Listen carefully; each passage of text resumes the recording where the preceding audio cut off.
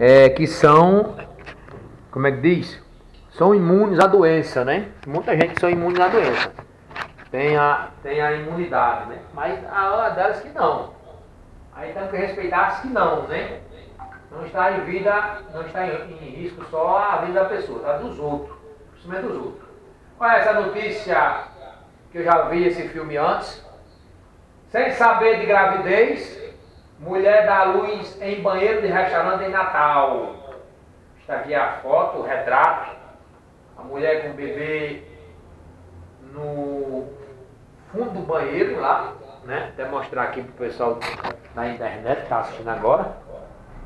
Realmente é, é uma coisa que não é comum, mas a gente pede que hoje as mulheres e os homens, a partir, eu acho que 12, 13, 14, 15, 16, 17 anos, já tem um entendimento de como se faz para evitar. Se você não tem é, vontade de ter um filho ou uma filha, se previna. Se previna porque evita de você estar é, fazendo as coisas contra a vontade. Estou vendo aqui é, é, por, Sérgio Henrique, é, por Sérgio Henrique Santos, que é o César, do G1RN, uma mulher deu à luz uma menina no chão do banheiro de um restaurante localizado na rua Apodi. Eita danado, na rua Apodi, em Natal, na tarde de quinta-feira ontem. A auxiliar de cozinha Lidiane Cardoso, de 37 anos, não sabia que estava grávida. O bebê nasceu saudável.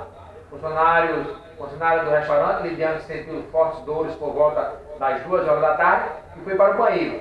Ela apresentava sangramento e gritava muito. Preocupado, o proprietário do, o proprietário do estabelecimento, Paulo Cortez, chamou a empresária Lúcia Dantas, sua ex-mulher, que tem outro restaurante na mesma rua, e o expediente já tinha terminado. Ela já havia almoçado, estava se preparando para tomar banho. Foi ao banheiro e lá sentiu dores, contou Paulo. Lúcia prestou a primeira assistência, estendeu uma toalha no chão e com Lidiane deitada notou a existência do bebê. Tem alguma coisa saindo de mim, chegou a dizer Lidiane. A empresária então ajudou a realizar o parto e disse ter vivido a maior emoção da vida. Eu nunca tinha feito um parto, nunca havia feito um parto, a empresária disse. Eu pensei, agora tenho que fazer, porque estamos só eu e ela, contou, a empresária e Deus. A iluminação dos anjos bons, principalmente, para orientar naquela situação difícil de como fazer. Isso é o mais importante, a proteção divina. Olha só, a empresária também relatou a surpresa de Diana ao saber que havia um bebê. Ela começou a chorar porque realmente não sabia que estava grávida.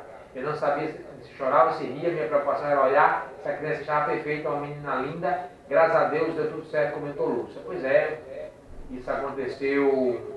A criança pesou 3 kg e 20 gramas. É, e a gente, né, após o primeiro atendimento, mãe e filha foram transferidas para a maternidade Lei de Moraes, na Zona Norte Natal. Lidiane também tem um filho de 15 anos. Está aqui o retrato na internet.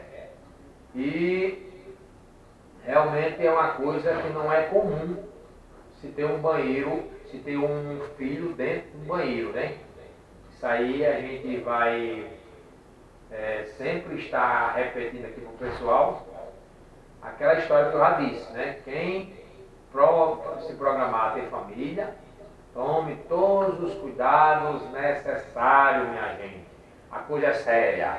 É com você, doutor Junião, aí na interna. Catuca aí, mais participações.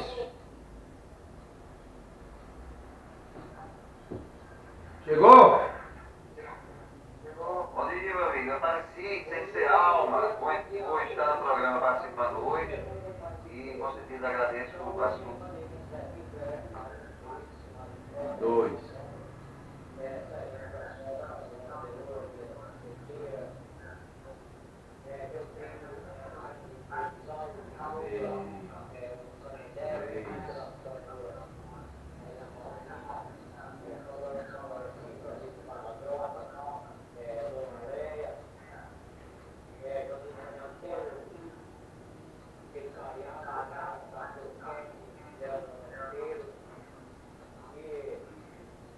Pois é, gravidez inesperada, a mulher deu a luz no banheiro. Já aconteceu casos parecidos aqui no Apodi, onde ali na Armoura, né, eu já até isso no meu Facebook, na Armoura, nasceu também uma menina. Ela, ela escondeu os nove meses de gravidez, agora ela sabia. Escondeu os nove meses de gravidez e na noite, na noite, né, ela foi dormir de rede, na noite, pariu, pariu a, a filha, né, sozinha, prezou só de manzinha quando acordou, do pessoal para lá para para limpar, né, limpar o resto e cortar o cordão umbilical. Aconteceu também no, na marcha fechada lá na Armoura. Nasceu a Rainha do Vale. Até o próximo vídeo.